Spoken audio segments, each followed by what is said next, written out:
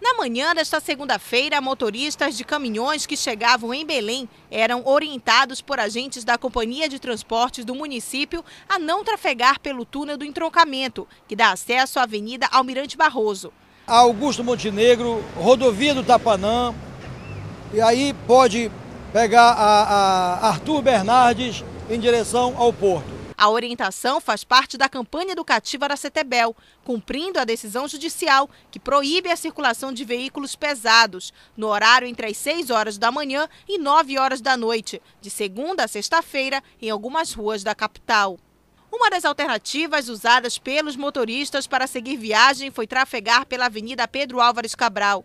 Mesmo assim, nossa equipe de reportagem ainda conseguiu flagrar caminhões baú, retornando pela rotatória e seguindo pela Avenida Almirante Barroso. Um claro descumprimento da decisão judicial.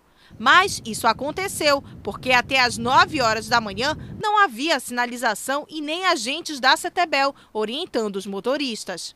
A circulação de veículos de carga com peso acima de 3 toneladas e meia e 14 metros de comprimento está proibida nas seguintes ruas e avenidas da capital.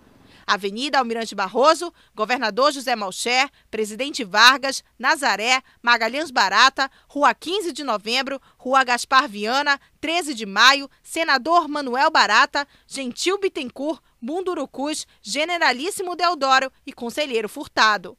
Depois de 30 dias, a CETEBEL vai começar efetivamente a fiscalização. Quem não cumprir a decisão poderá ter o veículo removido e ainda pagar multa de até 90 reais. A decisão tenta melhorar o trânsito em Belém, mas ainda causa polêmica. Não vai melhorar muito, mas vai resolver um pouquinho a situação.